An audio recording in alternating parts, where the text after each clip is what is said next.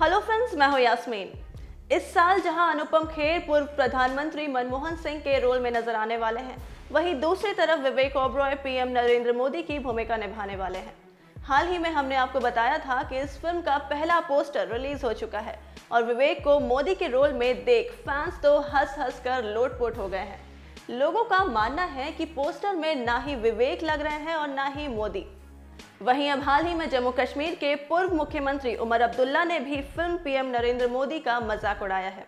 उन्होंने ट्वीट किया और लिखा कि लाइफ अनफेयर है। डॉक्टर मनमोहन सिंह को क्षमता दिखाने वाले अनुपम खेर मिले। गरीब मोदी जी को विवेक ओबराय से समझौता करना पड़ा।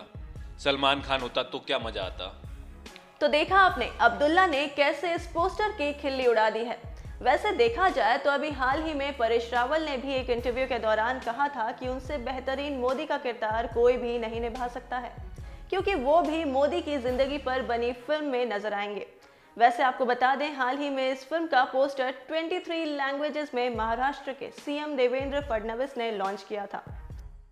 लॉन्च के दौरान विवेक ओब्रॉय, इस फ़िल्म के प्रोड्यूसर्स विवेक के पिता सुरेश ओब्रॉय और संदीप सिंह डायरेक्टर उमंग कुमार सभी मौजूद थे।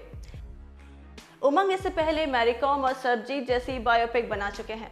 अब ऐसे में उनसे लोगों को काफ़ी उम्मीदें हैं। वह लोगों को पोस्टर और विवेक ओब्रॉय मोदी के लुक में तो नहीं पसंद आ रहे हैं।